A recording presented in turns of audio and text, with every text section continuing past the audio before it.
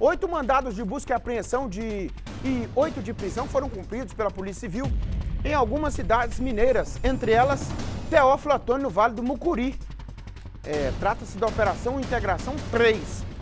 Quem vai contar sobre isso é Ivan Duarte, que está chegando aqui de volta. Ivan.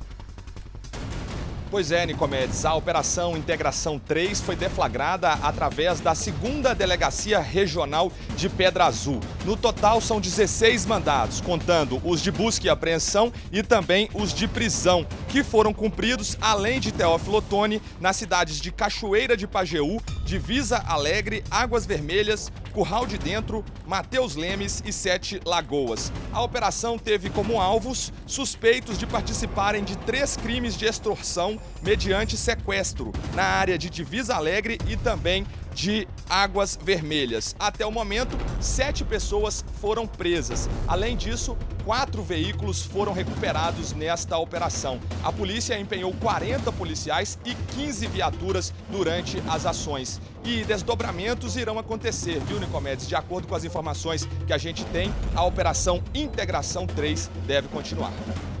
É, integração 3. E aí vai desdobrando, né, Ivan? Aí vai gerando integração 4, integração 5, vai desdobrando, porque cada operação, a polícia não sai com, com um bornal preto lá, escrito o nome da polícia, ali são as provas, né?